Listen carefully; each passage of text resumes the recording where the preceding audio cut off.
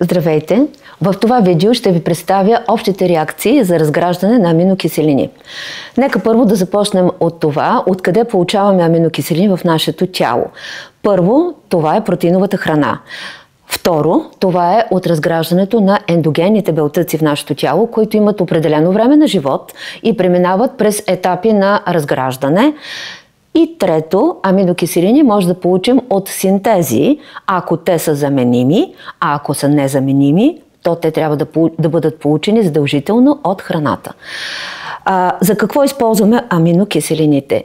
За обратни синтези на нови белтъци, т.е. замяна на старите, които са разградени преди това, защото Например, някои основни регулаторни ензими живеят само 30 минути, други, като инсулинът, живее само 5 минути. Така че ние непрекъснато се налага да приемаме протеинова храна, за да може да заместваме старите увредени и недействащи вече белтъци. Освен нови белтъци, азотът от аминокиселините е необходим да се образуват порини, перимидини, порфирини, биогени амини и всичко това налага да имаме постоянен аминокиселинен пул в нашия организъм. В действителност ние нямаме склад на белтъци, за това се налага ежедневно в храната да внимаваме тя да съдържа в себе си протеини, за да добавяме необходимото количество а, аминокиселини. Затова съществува понятието азотен баланс. Изравнен азотен баланс означава, че колкото сме приели аминокиселини, толкова азот е изкаран от, е, изкаран от нашето тяло а, чрез урината. Като крайните продукти на азотната умяна, това са пикошна киселина, орея, креатинин, амониеви иони и някои други по-малки по-малко количество азот съдържащи съединения, но това са главните. Положителен азотен баланс има, когато има растеж на тялото, отрицателен, когато има гладуване, заболявания и така нататък. Сега ще започна първо с набж вид как изглежда една аминокиселина. Най-отгоре това е карбоксилната група. Отляво, когато тя е L-аминокиселина, се изписва аминогрупата, която е положително заредена, карбоксилната е отрицателно заредена при физиологично pH. Отясно е водородът, а отдолу се изписва радикала на аминокиселината. По различните радикали, структурата им има различни типове аминокиселини, т.е. класификацията е доста голяма. Но темата на това видео е да разгледаме само в наш вид как се разграждат аминокиселините. Първо, когато започнем да разграждаме аминокиселините, ние а, можем да премахнем аминогрупата. Това а, е процес на дезаминиране на общо. Ще разгледаме всичките етапи на дезаминиране, как се случват. Следващият етап е да премахнем карбоксилната група, например. Това се казва декарбоксилиране и ще го разгледаме след малко и него. И остатъка, който остава от аминокиселината, това се нарича въглеводороден скелет.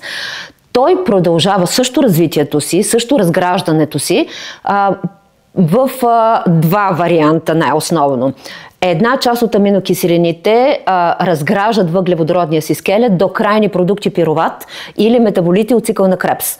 Тези аминокиселини се означават като гликогенни, защото от тези продукти може да се образува глюкоза в глюконеогенеза процесът.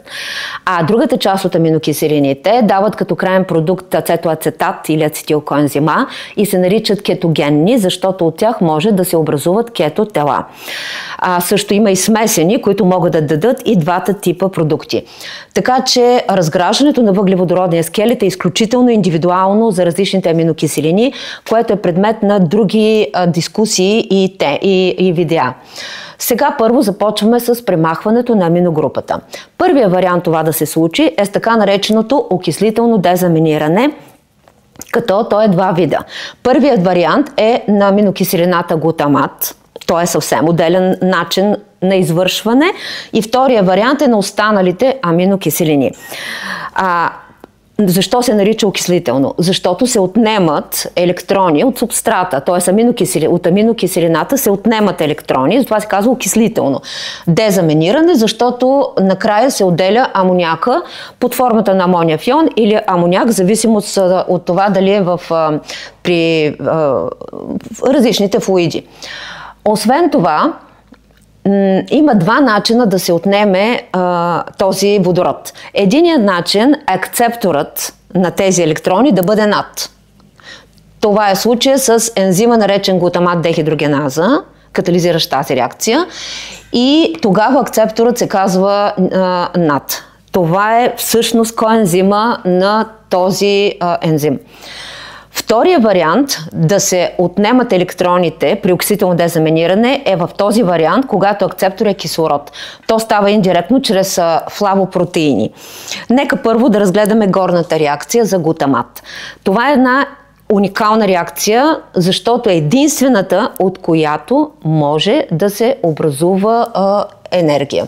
Тоест, трите молекули АТФ се образуват благодарение на дихателната верига, защото полученият редуциран над заминава там, влиза в първи комплекс водорода и се получават три молекули АТФ. Тоест, ако говорим за някакво получаване на енергия от белтъци, ето е реакцията. Това е единствената, която може да даде енергия от всичките 20. Останалите също биха могли, но не директно обаче. Винаги е чрез глутамат. Тази реакция е важна и в още една посока, а това е обратната реакция в обратната посока от алфа-кетоглутарат до глутамат. А в случая кофакторът е надфосфат H и тази реакция се нарича редуктивно аминиране, защото вкарваш водород, вкарваш и амоняк. А, значението на тази реакция е да се използва в определени случаи, когато има супер натрупване на амоняк и се използва за, за обезвреждане, за детоксикиране на амоняка, когато влиза в тази нетоксична форма под формата на аминогрупата на глутамат. Така, а, това е всичко за окситилно дезаминиране на глутамат. А, още нещо всъщност има, това е ензима. Ензимът е в митохондриите, т.е. изключително удобно място, водорода, който се изкарва много бързо да отиде до дихателната верига Второ, регу, регу, регулируем ензим е, т.е. може да се подлага на регулация, като регулацията е остерична и тя зависи от това колко енергия има в нашия организъм. Т.е. ако има много натрупано АТФ и ГТФ, между другото, е също даже много по-силен аустеричен инхибитор, те, тези две молекули инхибират ензима глутамат дехидрогеназа. А ако има в повече АДФ, това означава няма енергия, т.е. този ензим ще бъде активиран.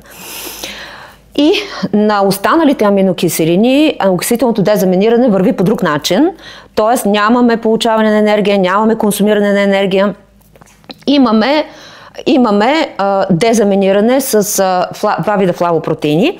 Ако говорим за L-аминокиселини, флавопротеините, които участват, е, това е FMN, т.е. флавин мононуклеотид се нарича. А ако говорим за D-аминокиселини, флавопротеинът е FAT. Разликата е в връзките, които правят по момента на свързване, че FAT прави ковалентна връзка, докато FMN прави нековалентна връзка при свързване. Тук въпросът е имаме ли D-аминокиселини? Всъщност имаме. Можем да получаваме с храната и D, но не влизат в структурата на белтъците. Те влизат като невромедиатори или като продукти от микроорганизмовото, от микроорганизмите, действието им. Така че и те си имат начин на разграждане съответно. И да проследим какво се случва. Всъщност това е начин да се, е, да се дезаминира аминокиселината, като крайният продукт е алфа-кетокиселина, през една междинна алфа, иминокиселина се преминава и още нещо се извършва, произвежда се водороден пероксид. Тоест, това е вариант да се произвежда водороден пероксид, който обаче организма много елегантно го е решил, като много бързо го детоксикира с помощта на каталаза с а, а, а, получаване на вода и отново, забележете, възстановяване на кислорода. Тоест кислорода, който е използван, после се възстановява веднага с помощта на тези реакции. Това е за оксидителното. Следва неоксидително дезаминиране, то е за 4 аминокиселини, серин, хистидин, трионин е, и е, серин, цистеин, трионин и хистидин. И тук съм показала само накратко принципа на този тип реакции, а това е, че се отделя например, сулфхидрилната група под формата на сероводород, като отново перидоксал фосфат, перидоксал фосфатът е кофактор в този случай и се получават накрая алфа-кето киселини. Например, от серина, от цистеина, като крайни продукти се получава пируват. Сега ще обърна дъската, за да продължим с следващите типове на дезаминиране. Всъщност, отново ще дезаминираме, само че този път амонякът не се отделя в средата, както беше до тук отделяше се в средата и всъщност всички тези дезаминирания, ако ти приемаш много белтъчна храна, те ще увеличат нивото на амоняка. Това също трябва да си има предвид. Т.е. прекомерният прием на протеини ще увеличи амоняка и трябва да съответно да се включат механизми за неговото обезвреждане. Има такова отделно видео за обезвреждане на амоняка, в което може да видите как той трябва да бъде обезвреден. Т.е. бъбриците, черния дроб трябва активно да бъдат включени. Докато този начин не включва отделяне на амоняк в средата а, и няма производство на енергия, няма консумиране на, на енергия, а само прехвърляне на аминогрупата от една алфа-кетокиселина, т.е. тази аминогрупа се прехвърля на един акцептор, който приема аминогрупата, то е алфа-кетокиселина, много често всъщност тя е алфа-кетоглутарат, както ще видите в следващия пример. И в този трансфер на аминогрупа тази алфа-аминокиселина се превръща в нова алфа-кетокиселина, а тази алфа-кетокиселина, която беше акцептор на аминогрупата, става нова алфа-аминокиселина. Т.е. тази аминогрупа дойде тук и се появи в тази нова алфа-аминокиселина. Кофактор е перидоксал фосфат, т.е. производно на витамин B6. И каква е ролята на трансаминирането? Ролята е да се образуват нови аминокиселини, нови аминокиселини, или, а между другото процес е абсолютно обратим и в двете посоки, така че може както тази, така и тази да се образува. А, клиничното значение на този, а, на този процес е диагностичната роля на два от ензимите, които катализират този процес, а те се наричат наобщо аминотрансферази или трансаминази, но тези, две, а, тези два ензима, които имат диагностична стойност от трансаминирането, това са ензимите АЛАТ, който ви давам тук пример, и още един, това е ензима АСАТ. Това означава аланин аминотрансфераза и аспартат аминотрансфераза. Само, че е добре да се знаят и старите наименования, т.е. на алата старото име е глутамат, пироват трансаминаза, докато на асат е глутамат, оксалацетат трансаминаза. И сега ще разгледаме примера с алат и вие ще се направите същият извод и за асат. Двата ензима, когато са, когато са повишени в кръвта, а, означава, че имат чернодробна увреда. Като алата е по-специфичен за черния дроб, докато асата е по-разпространен в други органи, така че неговото повишаване единично само на асата говори за инфаркт на миокарда, заедно с още много други показатели, разбира се, като диагностично значение. А, реакцията по същия начин е обратима и в двете посоки, така че може да се синтезира както аланин, така и той да бъде донор на аминогрупата.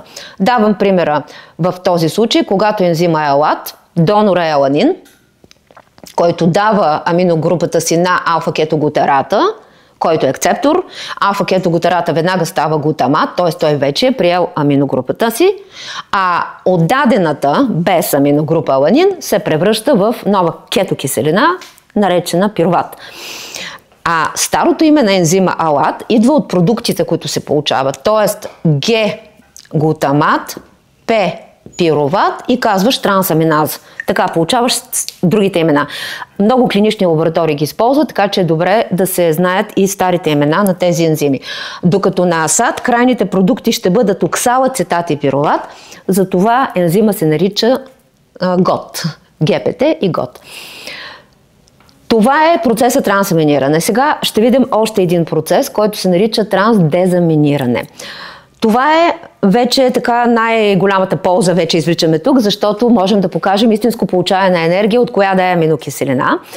А, като а, има само две изключения на аминокиселини, които не правят трансаминиране. Всички останали правят, което значи от всички тях можем да получим най-накрая енергия от дихателната верига.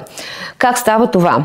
Аз одеве споменах, че глутамата задължително участва, така че ще видите, ето го глутамата тук като структура. Това е глутамат.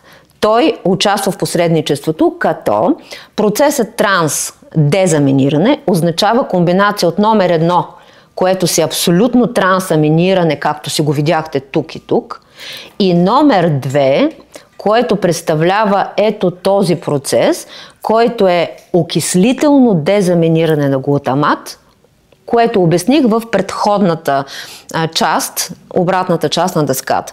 Това означава, че глутаматът, след като бъде получен от трансаминиране, веднага се подлага на този процес, произвежда се над хаш, дава се на първи комплекс на дихателна верига и веднага се произвежда, произвежда 3 молекули АТФ. Ето това е механизма, така че да могат и останалите аминокиселини да дадат своя дан в получаването на енергията. И последният начин да разградим една аминокиселина е като примахнем нейната карбоксилна група. Това се казва декарбоксилиране. Ензимите се казват декарбоксилази, а кофакторът отново е перидоксал фосфат. Така че като чуете дезаминиране, декарбоксилиране, винаги перидоксал фосфатът е на линия, с изключение на окислителното, когато видяхте, че или над участва при глутамата, или флавопротеини участват при останалите аминокиселини. При декарбоксилирането на аминокиселините се получават изключително а, важни съединения, наречени биогенни амини и те, след като, например, от тирозина се получават катехоламините. Това са допамина, адреналин, норадреналин, от триптофана, серотонин и мелатонин, например. От аминокиселината глутамат се получава гама-аминомасена киселина или ГАМК, съкратено на български и така нататък. Всички те, като биологично активни вещества, след като извършат своята дейност, се разпадат, разграждат се от е, ензими, които се наричат моноаминоксидази и ди или диаминоксидази, в зависимост от това колко аминогрупи притежават. Като крайните продукти, това са алдехиди, които а, след това се пръщат в киселини, които се отделят в урината. Така че в урината, изследвайки ги, ние можем да направим извод за това какво е нивото на съответния биогенен амин в нашия организъм. Тези ензими DAO и МАО работят с ФАТ и отново се генерира водороден пероксид, който се обезврежда с каталаза по същият начин, както при окислителното дезаминиране на останалите аминокиселини. Ще обърна отново, за да видите. Тук пак има аминоксидази, но ам, различно, различни са тези. И, и там и тук са аминоксидази, но тук са амино, аминоксидаза, а там субстрат е различен, т.е. там са биоген, на биогенен амин аминооксидаза. Това беше всичко за общите реакции на разграждане на аминокиселините.